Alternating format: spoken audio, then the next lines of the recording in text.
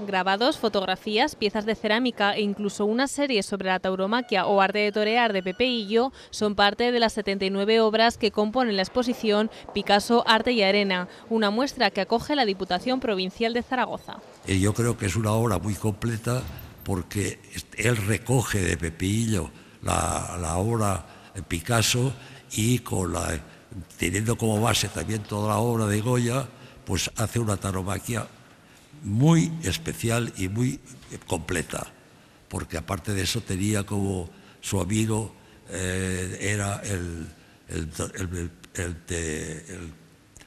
torero Miguel de Piquín, y él le aconsejó muchas veces de la forma que tenía que hacerla o de la forma que tenía que presentarla, y con lo cual es impresionante todas las exposiciones. Esta muestra refleja la influencia que la tauromaquia tuvo en el genio malagueño y cuya afición le llegó de la mano de su padre, un gran aficionado. Como en todo en Picasso, su obra es un reflejo de su vida.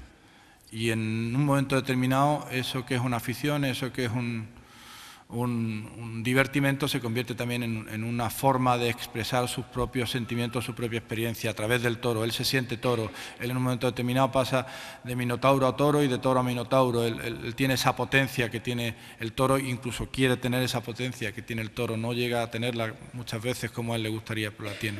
Además, esta exposición coincide con el 250 aniversario de la Plaza de Toros de la Misericordia.